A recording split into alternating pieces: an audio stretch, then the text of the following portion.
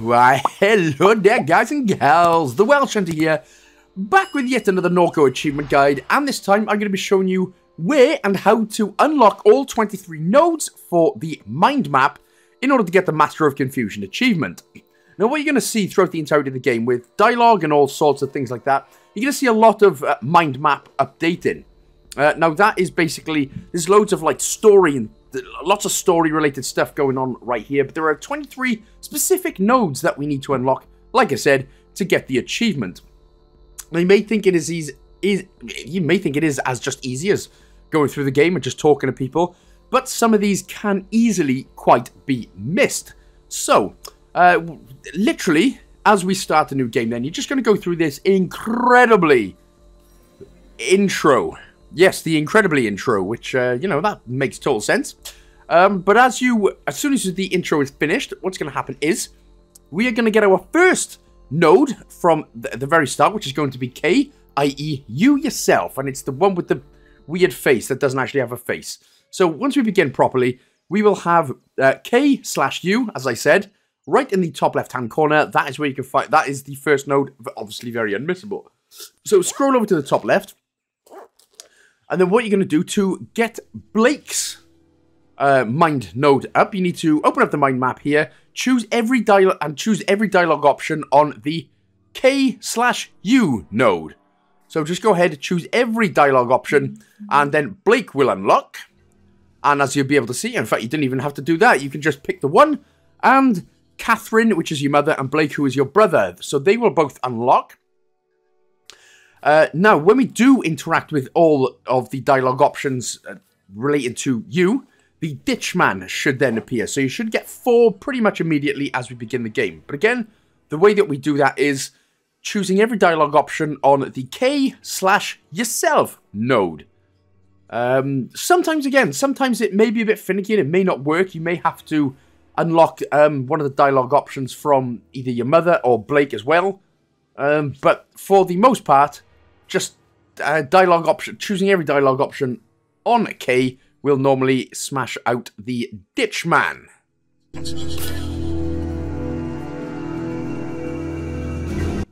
And there she blows, matey. So the ditch man appears. So, so like I said, from the very start, then you should have four, right? And in the immediately immediacy. So once we have finished that, and you do the mini game with the monkey, what we can do is basically uh, you'll get the primal stare achievement, and then what we can do is, if you press the right trigger, you can go into your local map, which is at the very bottom, or you can scroll over to it with your cursor, head into the living room, and interact with the photo album on the table. There's only one photo album on the table, so you can't really go wrong with that, and it says photo album at the bottom as well. Comes in very handy, that one. So what you're going to do is, if you interact with all the dialogue options that you can, so basically just looking at it, you will unlock Blue, King Pierre, and Duck, King Pierre, Pierre Gasly, uh, but yes, so you should unlock Blue, King Pierre, and Duck, plus you'll get an achievement as well. But that should already put you on 7 out of 23 mine nodes. That's 25% already done. Right, uh, still very early on in the game, what we can do, in fact, if immediately from where we just were, head into the kitchen and then head into the backyard. We're going to get another couple of mine nodes very, very quickly. So first of all, we're going to get one for talking to Million the Robot in the backyard. So once you talk to her, the mind map will update, and that will be your eighth one. And then after the long, seemingly long, long conversation, what we're going to do is head into our mind map once again, which goes to the top left-hand corner right there. Eventually, we'll just try that one again. Uh, so yeah, heading into your mind map, what you need to do then is, after talking with Million for the first time, we're going to open it up, we're going to select Catherine slash Mommy, and choose who was was conducting research, right? For who? So select your mother, was conducting research for who, and that's going to be the client. That'll be um, node mind map number nine. And then immediately then, before we head out, staying in the backyard, if we have a look at the very background, you can see where it says refinery. Just click on that one, and that is the shield mind map updated as well. So that is the shield node. So that should all be good. Right, a little bit, a tiny little bit uh, carrying on. What we're going to do is head out of the house, go to Apple Street and head to Dimes Discount. And what you're going to see when we are going to, we're going to basically try to go into the store here on the right hand side. Now, when you go into the store, what's going to happen is the homeless, uh, crack-headed looking Undertaker from WWE. Man, he's looking pretty bad after retirement, but he is going to appear, and all that we have to do for this one is just talk to Troy. I'm not sure if you specifically, I don't think you have to specifically ask him anything, but I think after just talking to Troy for a little bit, the mind map will update, and that will be your next uh, proper node.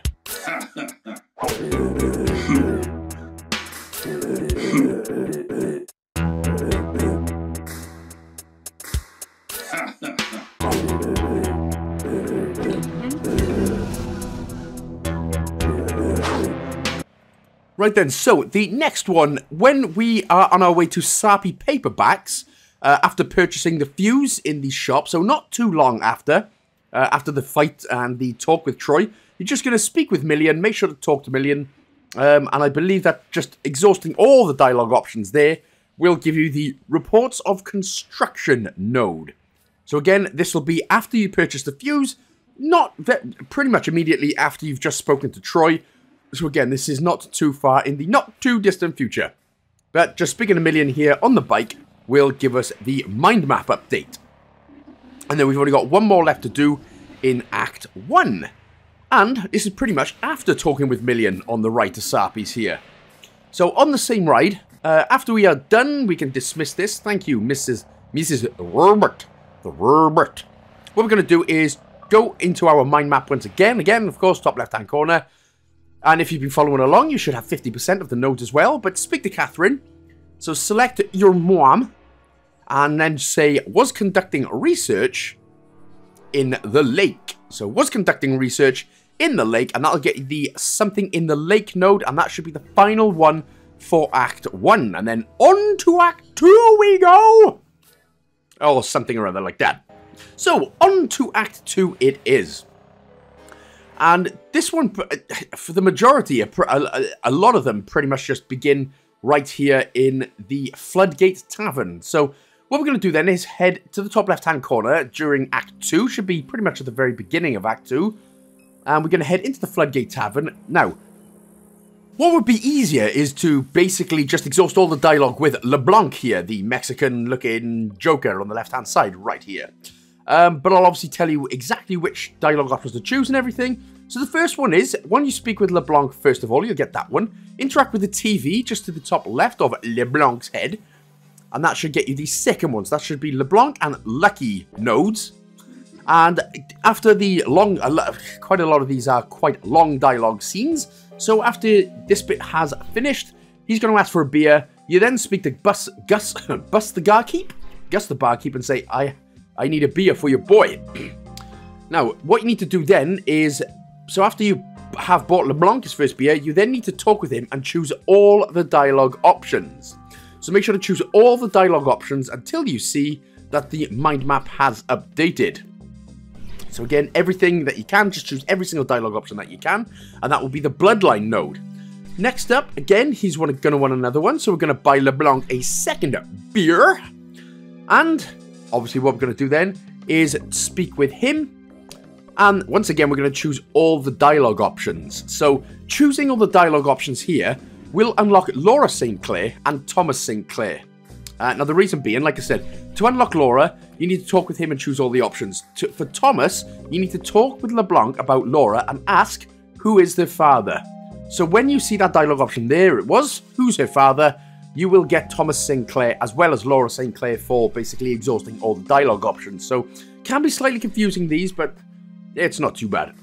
so after all, he's going to want some grub, because, you know, might as well rob us while we're here. Uh, so after we've bought LeBlanc, the two beers and a meal, we are going to select Duck from our mind map, and basically choose every single dialogue option. So that one should get you one, two, three, four, five, six.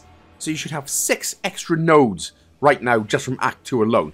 But like I said, uh, Duck is basically a blurred out guy on the right hand side of the mind map. If for whatever his, uh, for whatever reason his dialogue options are not coming up, just interact with um, every other node and just quickly go through their dialogue options. It may take a, a minute or so, but uh, that is the way that personally I got it to work. So, so hopefully doing that will unlock Duck right here. And when you do that, you just need to go through each and every single one of his options to get the dimes.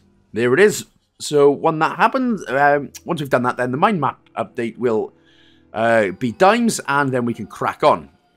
Immediately then, we can go straight to dimes, and we're going to go inside the house. Spookalicious, right?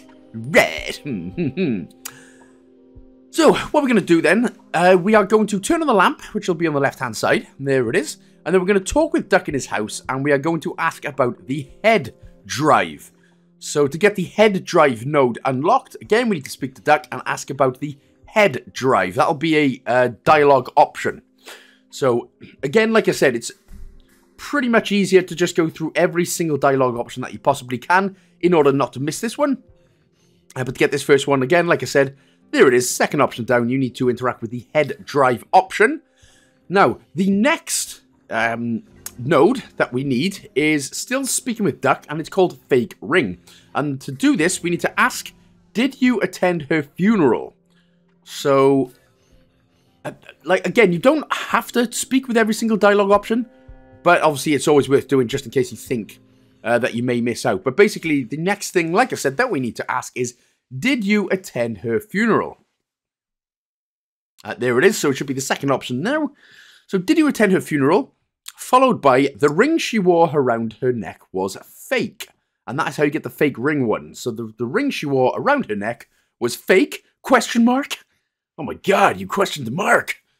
But that would be the fake ring one. And then, hilariously, we've only got two left. So you might think there might have been a hell of a lot going on, but there's actually not. So, to get the penultimate one, eventually we are going to get to the Shield HQ after a lot of fights, and we speak to Moonface chunky nose. Yeah, that'll do. So Moonface, massive nose, and he is just going to let us in. To get the Garrett node, all we have to do after we enter the Shield HQ, we're just going to talk with the balcony crowd. Uh, the balcony crown, sorry, in the lobby of the balcony crowd, crown, whatever. So basically, everyone at the very top here, the balcony crowd, interact with them, and that will eventually get you the Garrett node as well. And then we've only got one left to get in Act 3. So here we are in Act 3 then, and we are back outside Ducky's house. Now basically what's going to happen is you're going to have to fight these uh, two douche nozzles, as it were. You know, somebody who looks like they've never seen a real pair of boobs in their entire life. Um, but I'm just joking, they're obviously hardcore knights.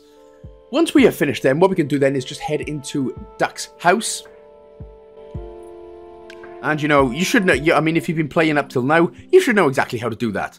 Now, as soon as we interact with Le Blugolo right here, just interact with the notes on the desk. That will get you the Sunken Head um, mind map node.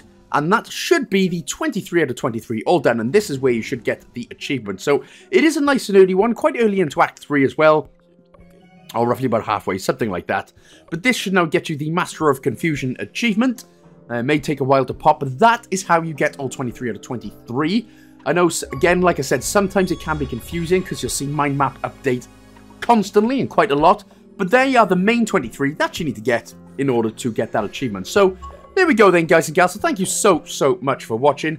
I hope you've enjoyed the game. I hope you've enjoyed the guides so far that I've put out. And, well, I guess I'll see you in the next one. Big love.